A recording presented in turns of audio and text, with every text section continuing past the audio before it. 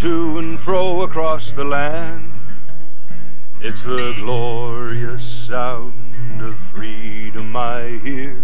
The prairies and mountains are haunts of this band. I'm hunting the white-tailed deer. I've seen 'em in the high plains, I've seen 'em on the prairie, I've searched 'em both far and near. And I'm gonna keep on trying to get the one I want. I'm hunting the white-tailed deer. Running to and fro across the land. It's the glorious sound of freedom I hear. The prairie and mountains are haunts of this band. I'm hunting the white-tailed deer. They're wily, they're cagey, and darn hard. Hi, I'm Jay Warburton, and it is my pleasure as host of the Sportsman's Workshop series to bring you this program on how to hunt white-tailed deer. In many states, the white-tailed deer is the only big game animal available to legally hunt. However, this does not diminish the whitetail's reputation among sportsmen as one of the most challenging big game animals in not only North America, but in the world to hunt. As many as 50 million deer inhabited the North American continent when the Europeans first began to realize the abundance of the New World resources. Throughout the 19th century, commercial opportunists were responsible for the slaughter and near extinction of not only buffalo, but the white-tailed deer as well. Literally tons of hides and venison left the seaports of this country bound for the markets of England and Europe. By the early 20th century, whitetail numbers had fallen to less than 500,000 within the boundaries of the U.S. The whitetail population had become so few and far between that exploiters found it no longer profitable.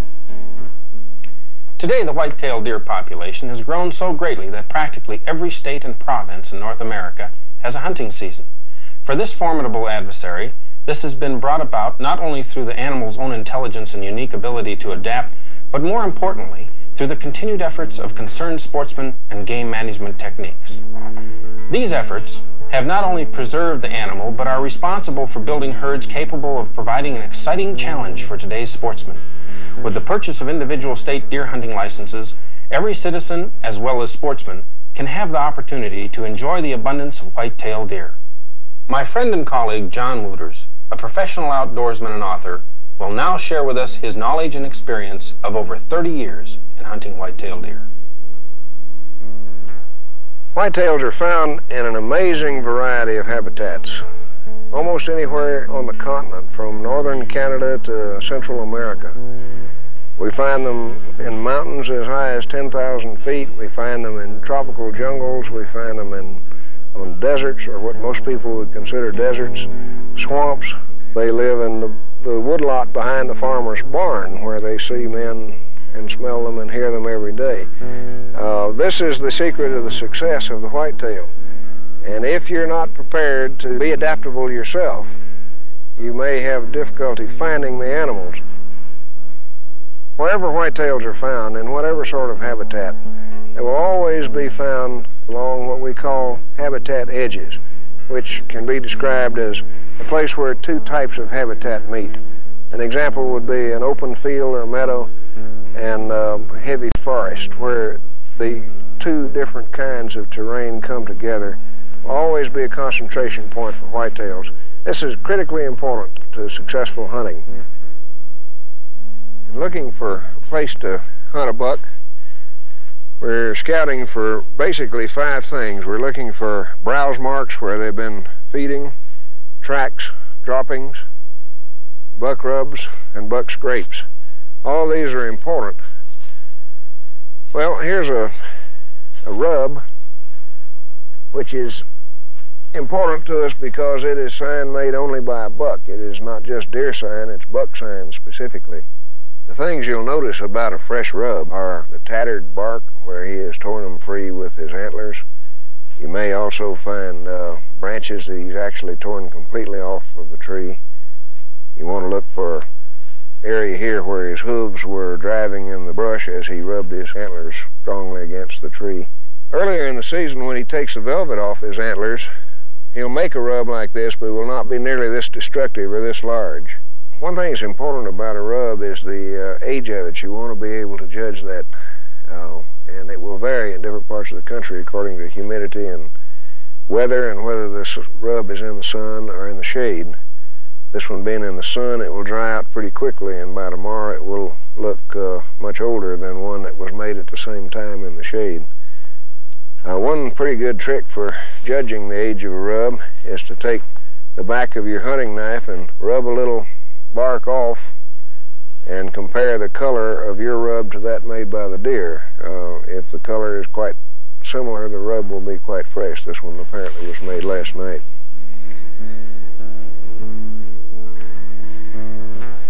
White-tailed deer eat an amazing variety of foods, but in each particular area they have their own favorites. It's important that a hunter learn what they eat in his part of the world and know where that type of food is available. Uh, when you find browse marks like these, you'll note that because a whitetail has no teeth in the front of his upper jaw, anything that he bites off, whether it's leaves or buds, tend to look like they were pinched off with a thumbnail. That's a sure sign that it was a deer that did it. Obviously, if you know where a deer is feeding, it's a pretty good place to hunt.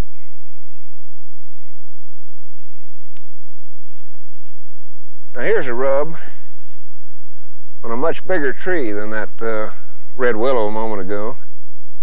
This one is uh, almost surely made by a mature buck. Uh, one of the striking characteristics about this rub is that while his antlers were rubbing on the main trunk here, some of the tips of his fighting tines were scratching the secondary trunk over here. And at times you can actually use that uh, measurement to judge the size of the animal's antlers. In any case, this is evidently a rub made by a substantial buck and an animal well worth hunting.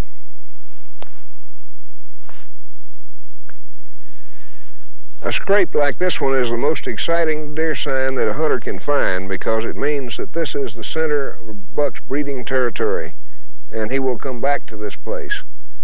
Scrapes are always found on trails, along trails, and usually in the edge of a clearing. A scrape is a mark made in the ground by a, a buck. He paws the dirt away with his front feet and it will also always be found under an overhanging twig or branch, which he will have chewed, nibbled on, and battered with his antlers. The current thinking is that the overhanging twig is the mark of ownership and that the uh, scent marking that's placed on that twig tells all the deer in the area which buck made the scrape. There are several different kinds of scrapes, but the ones that are made for breeding purposes usually be in the center of an area in which there are a number of other scrapes around, many of which will not appear to be active. The active scrape will usually have some muddy spot in it where the buck has urinated, usually have his tracks in it too, as this one does. The uh, dirt will all be thrown in the same direction, and it's sometimes possible to tell in which direction the buck was traveling when he stopped to make a scrape. In any case, the value of a scrape is the fact that a whitetail buck will come back to this, having made, having opened and anointed his scrape, he will come back to it several times every day. For the person that wants a buck, and not just any doe, this is the most encouraging sign you can find anywhere in the woods. It's well worth spending some time looking for scrapes. Still hunting is uh, often thought to be hunting in a stationary position, but really, still hunting means to move quietly through the woods, whereas stand hunting is sitting in one place waiting for the deer to come to you. What you try to do when still hunting is to become a part of the woods as much as possible.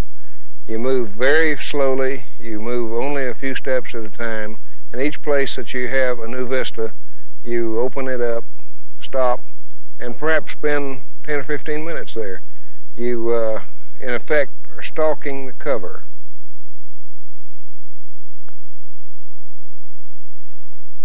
Of course, if there's a little bit of wind blowing, it helps to cover your own movements, but naturally you try to be as quiet as possible. You like to hunt across the wind or upwind so that the deer can't smell you coming. And I prefer to have the sun behind me as I have now. This helps immensely in trying to see a motionless deer in heavy brush. When you do have to cross an opening on a still hunt, it's a good idea to take a lesson from the deer. Don't cross it. Go around through the edge of it. If you do have to cross an open area, do it smoothly and as quickly as possible. And when you stop in, in a still hunt, it's a good idea always to choose a place where you have some cover, where your outline is broken up by brush behind you or brush in front of you, where you can see out and the deer can't see into the brush. Stand hunting is by far the most productive method of hunting whitetail simply because the hunter is being motionless and the deer is in motion, which makes it much easier for the hunter to remain unseen. Also, uh, a well-chosen stand location can place the hunter in a position where he is reasonably sure that a, uh, a deer or buck will will be coming, either because it overlooks a well-known trail, a, a feeding area, or a bedding ground, or perhaps a scrape during the rut. The important thing is to get where you can see the area you expect to see the deer in, to get where you have no obstruction to your shot, where your bullet doesn't have to go through too much brush, and preferably not too much twigs around you that could catch on your clothes as you raise a rifle. Because usually with a stand, your buck will be close and you won't have very much time the time you begin to raise the rifle until you get the shot off. This kind of stand, just a seat against a tree, is the simplest, but there are many other kinds of stands. Uh, in an area where there was not enough concealment, or with a hunter who feels he might not be able to sit still enough long enough, we can use brush to build a brush blind or commercially manufactured uh, ground blind, or stand up a tree. Advantage of a tree stand, of course, is that it gets your scent above the heads of the deer, and they can't smell you nearly as well if they're downwind from you as they can in a stand like this. For the hunter that knows how to use them, these are the deadliest weapons he has, no matter what state he hunts in.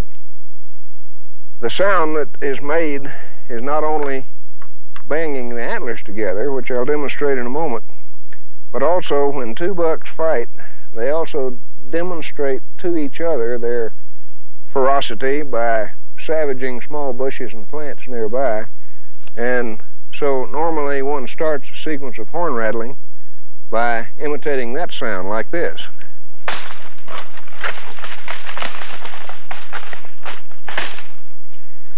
Very often that's all you need to do. The buck will sometimes appear on the strength of that. Uh, another part of the horn rattling process is the imitation of the sound of hooves on the ground. Which you can make like that. The main part is the clash of the antlers. It lasts about 15 to 40 seconds, 15 to 30 or 40 seconds. And it must be borne in mind that a battle between two whitetail bucks is more a pushing contest than a, than a duel, a fencing duel. And the sound goes very much like this.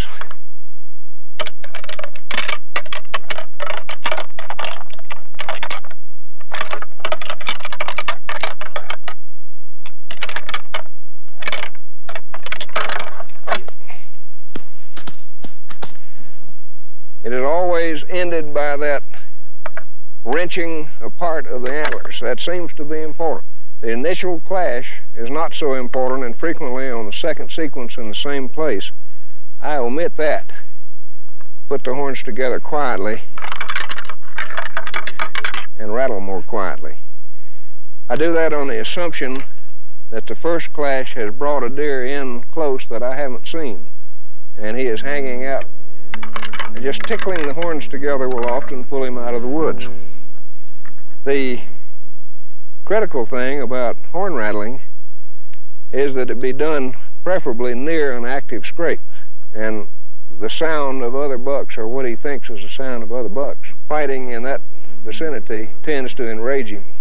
Another thing about rattled bucks is that they tend to be so convinced that they're going to find two deer fighting that they will stand still for all kinds of shenanigans such as a sight of you moving, reaching to pick your rifle up.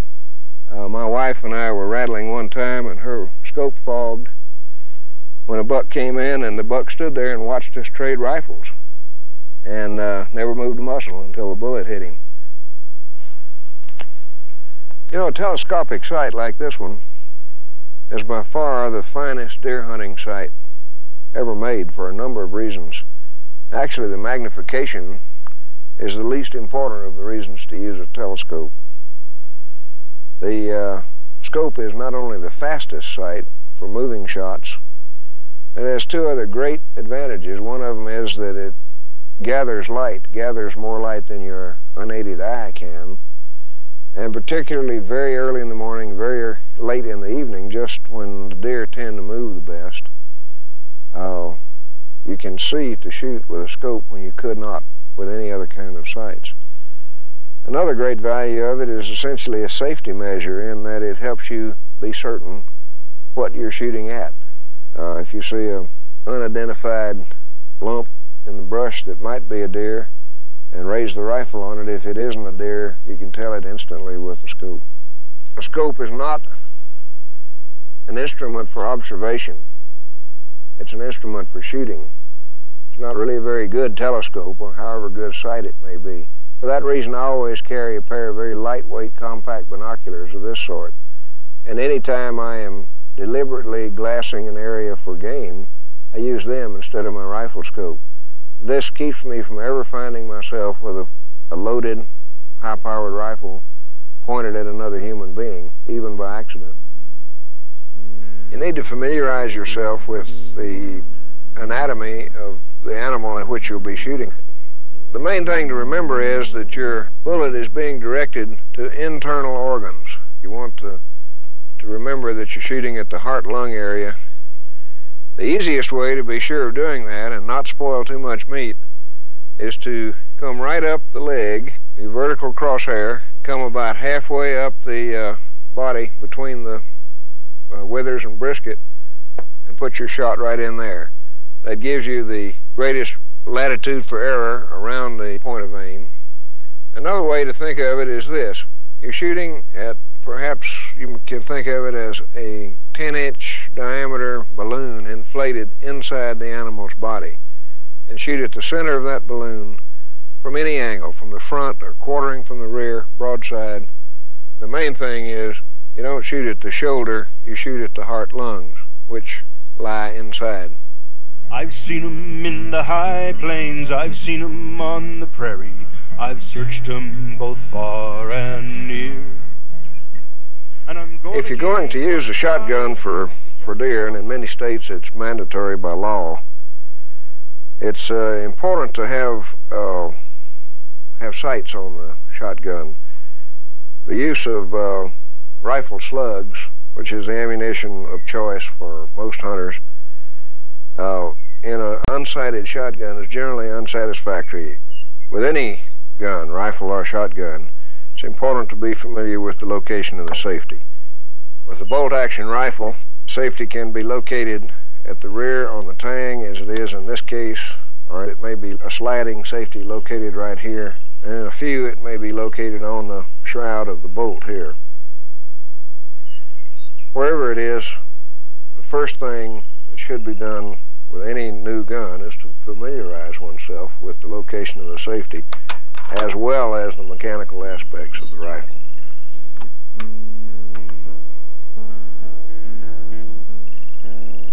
Many hunters sight their rifles in by taking one shot with their elbows leaned over the hood of a pickup truck at a beer can at some unidentified distance.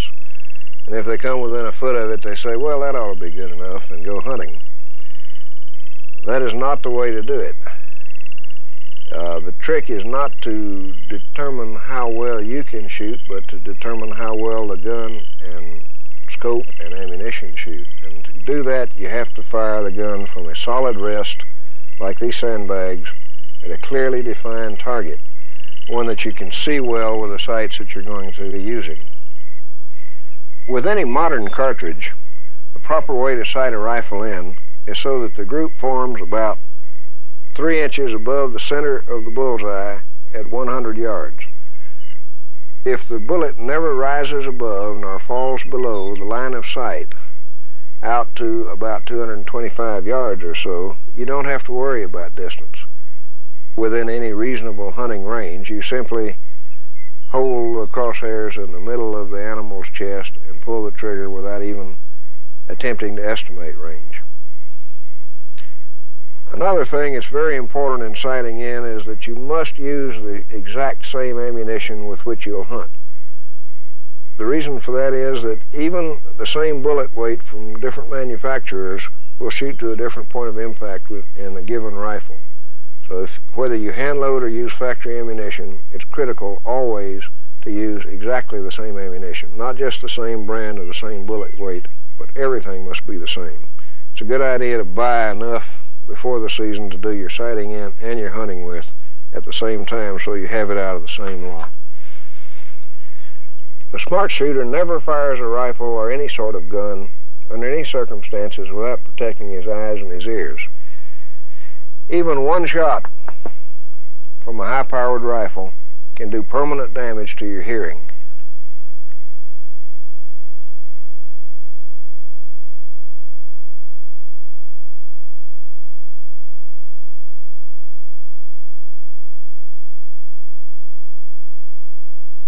There's so many different uh, cartridges and so many calibers, most of which will do the job, that I'm reluctant to recommend any one or any class. But I do think it's uh, important that hunters consider using a cartridge that has at least enough power to be certain of a, a humane kill, a clean kill on the white-tailed deer. Uh, in my opinion, this would be roughly a cartridge driving a bullet of about 125 grains at the minimum at a velocity of at least 2900 or perhaps 3000 feet per second. Anything over that will do a good job if the hunter does his part.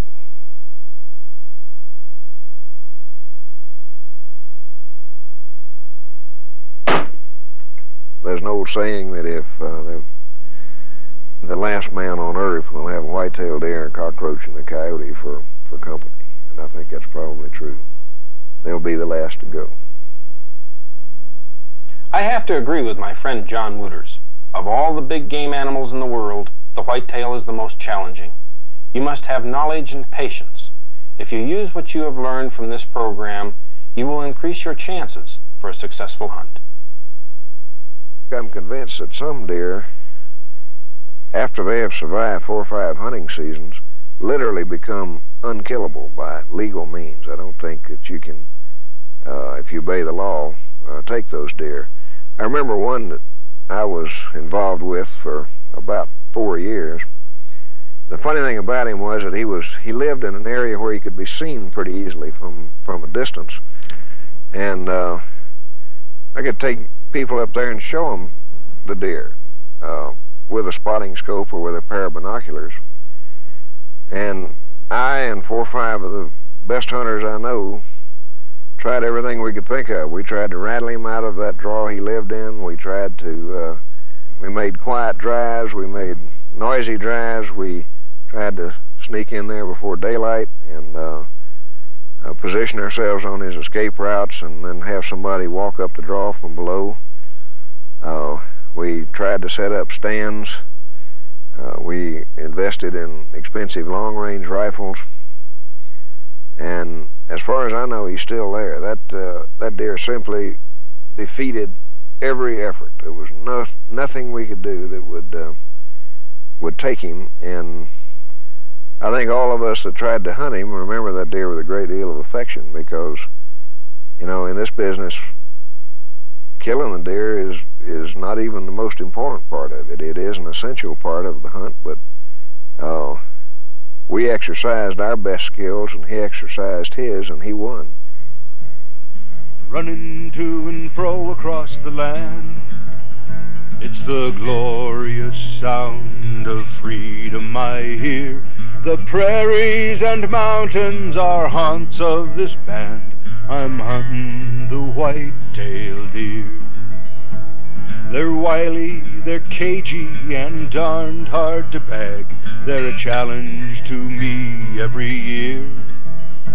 And they keep me on my toes, and the Lord only knows they're the greatest, they're the white-tailed deer. Running to and fro across the land, it's the glorious sound of freedom I hear. The prairies and mountains are haunts of this band. I'm hunting the white-tailed deer.